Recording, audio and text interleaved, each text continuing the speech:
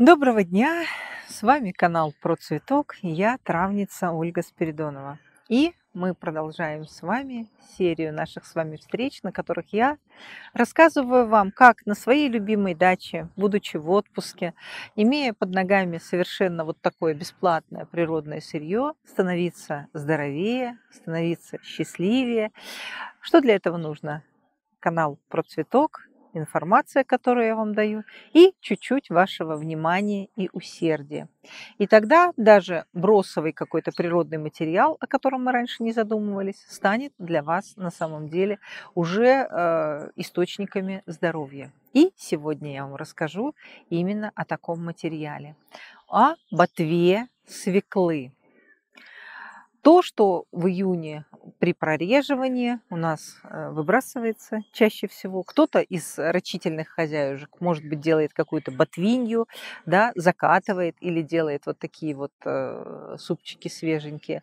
Но на самом деле возможностей для улучшения нашего здоровья у свекольной ботвы намного больше. И этим я с вами сегодня поделюсь. Поделюсь своими авторскими рецептами, которые я передаю своим ученикам в фитошколе Дивея. Поделюсь какими-то старинными рецептами, которые мною э, извлечены из старинной литературы, из моего опыта, из общения с а, травниками и травницами. И а, вы все это сможете взять и использовать для своего здоровья. Итак, ботва свеклы. А, для кого-то это вкусные хрустящие черешки в ботвинье, в свекольниках есть такое название у белорусских блюд. А для кого-то это, в общем-то, вот, ну, ненужное выброшенное сырье. Чем она полезна для нашего организма? А на самом деле у ботвы свеклы огромное количество полезных свойств, и в первую очередь это связано с ее возможностью очищать печень. А, очищать кишечник, улучшать его работу, снижать уровень холестерина, а, снижать давление, а, улучшать состав крови, поднимать гемоглобин. И все ботва свеклы.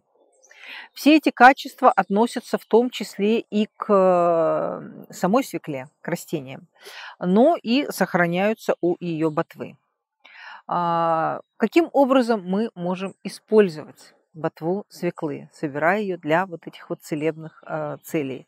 Э, просто собрать помыть, посушить и где-то заваривать как чай. Это, наверное, будет очень просто и не очень вкусно. А, можно придумать что-то другое. Как я уже говорила, хозяюшки делают так называемую ботвинью. Это, не знаю, только наше белорусское блюдо э, или в других местах его тоже делают. Собирают черешки ботвы а, и по-простому маринуют в баночках а, пол-литровых, 700-граммовых, а, как маринуют любую другую зелень, убирают на полочки в свои погреба, на своей даче, да, засаженной растениями саженцев, которые вы купили на канале про цветок. И хранится эта ботвинья, берем мы ее зимой, можем просто добавлять в щи, борщи, супчики. А можем просто, например, смешивать с кефиром, с квасом, с, делать такую окрошку, да, легкие холодные супы. И это будет не просто еда, это будет суперфуд, еда со здоровительными свойствами. Такая еда полезна кому? Полезна гипертоникам, да, потому что свекла и свекольная ботва очень хорошо снижают давление. Полезно людям, страдающим сердечно-сосудистыми заболеваниями, тем более летом на жаре, когда мы наработались на даче, а еще и чаще всего в какой-то наклонной позе, и, соответственно, приливает кровь в голове и повышается давление. Очень полезно вот именно такие супчики из свекольной ботвы, которые снизят давление и которые при этом прочищают сосуды да, снижают уровень холестерина, который сам провоцирует как высокое давление, так и а, э, головные боли, подъем давления, да, вот э, какие-то сердечные нарушения. При этом, при всем, свекла ботвы является практически незаменимым средством. А, кому еще она может помочь? Тем, кто хочет похудеть. Однозначно. А, свекольная ботва помогает, очень хорошо помогает снизить вес. Можно сделать такой вариант квас. Квас на свекле или же свекольной ботве. Причем не просто так квас сделать, а его можно сделать еще и на молочной сыворотке. А, ну, можно и на обычной водичке.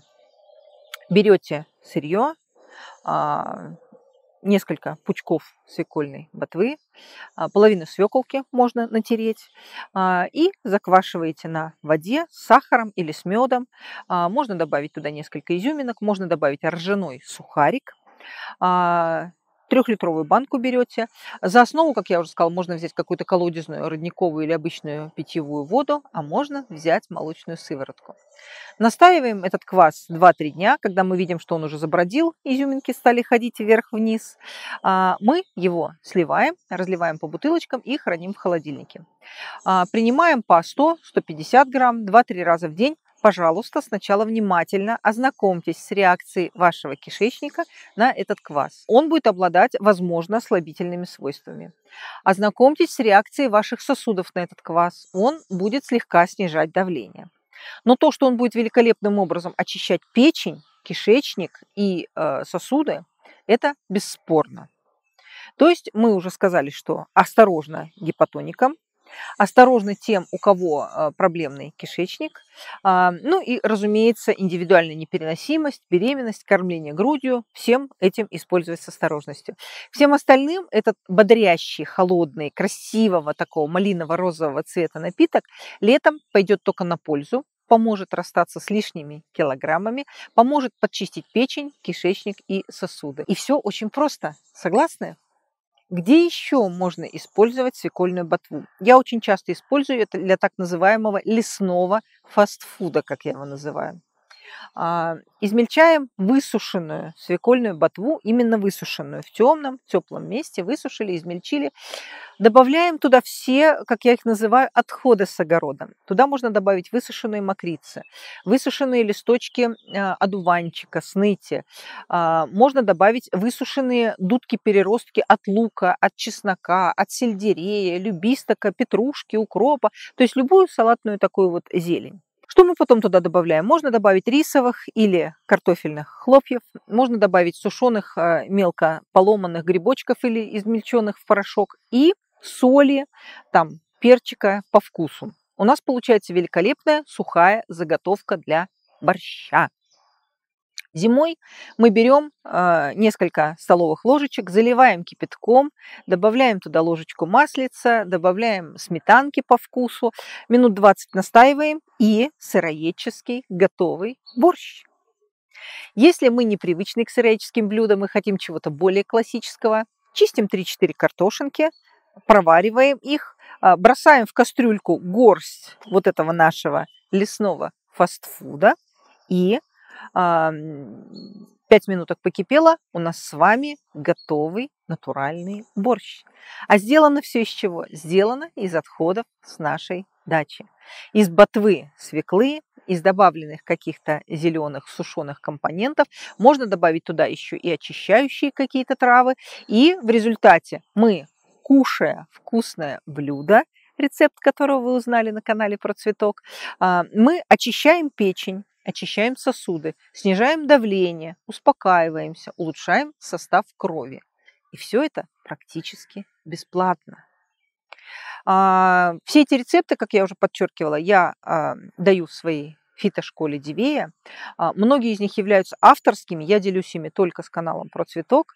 Приходите к нам, слушайте нас и будьте здоровы.